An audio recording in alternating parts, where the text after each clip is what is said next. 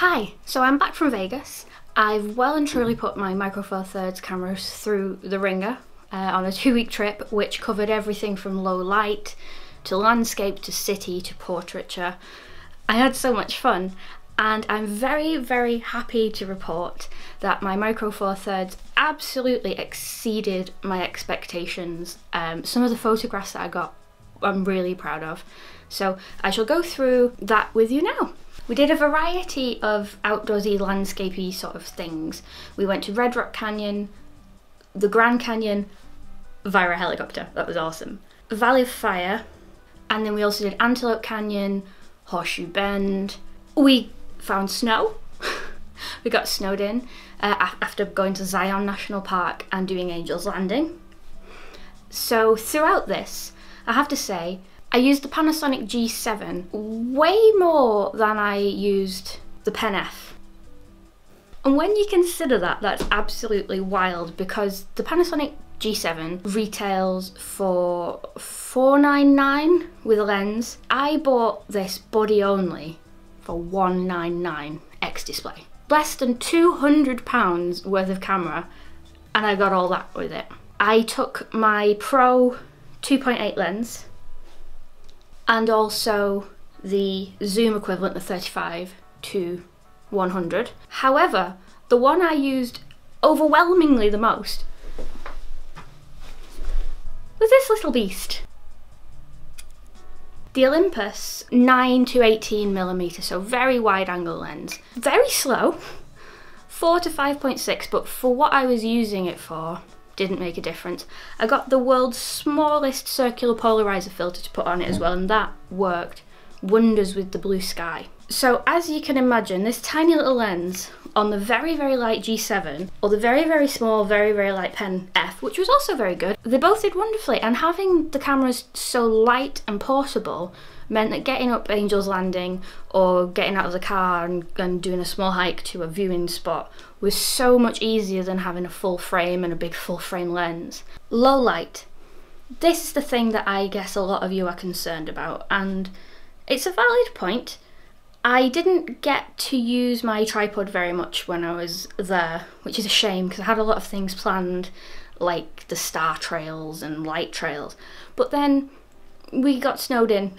the weather turned terrible at one point when we were doing the hikes, and that was the night where we was hoping for no light pollution because we was up a big mountain, and it just didn't work. Which is a shame, but then we got snow, which is a happy sort of consolation prize. Low light stuff in terms of cityscapes, it did superbly at. Low light handheld, which is a challenge for most cameras, it was average at. I, am, I, I imagine a full frame would of course do better, but it wasn't an ideal shooting circumstance anyway. Even with a full frame, you would hope to have a tripod in these circumstances, so it did okay considering.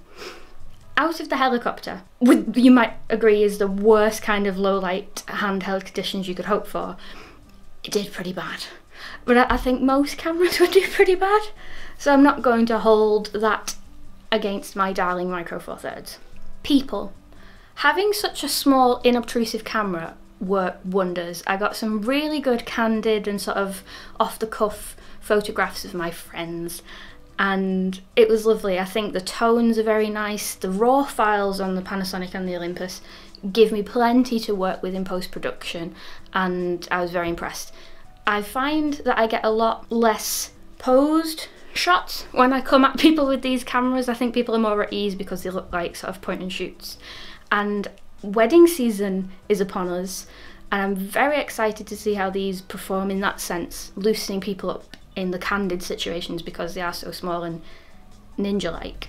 Dynamic range up there with noise and low light performance, I think dynamic range is also this thing that people have a stigma about with Micro Four Thirds. And you know, small sensors, science, I get it. So, to combat this, using the built-in bracketing on both of the cameras, I shot a heck of a lot of HDRs, usually five brackets or seven brackets depending on the scenario. The good news? Once I got it into the computer, I picked the middle exposure, the one that's correctly exposed, and found that there was more than enough dynamic range for me to not bother with the HDRs. So the dynamic range for me particularly if you underexpose it a little bit rather than overexpose, work wonders. I think I'm going to do a whole separate video on that in Lightroom and show you just how much give you have with these cameras because it did actually surprise me. To conclude, for my first personal big project doing travel photography in all these wonderful places, I'm so impressed.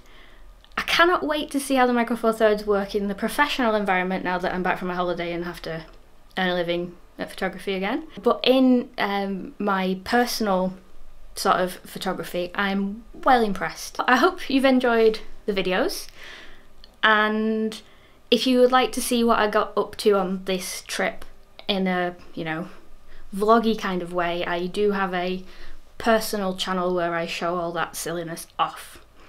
Thank you so much for watching and I shall put more content up imminently.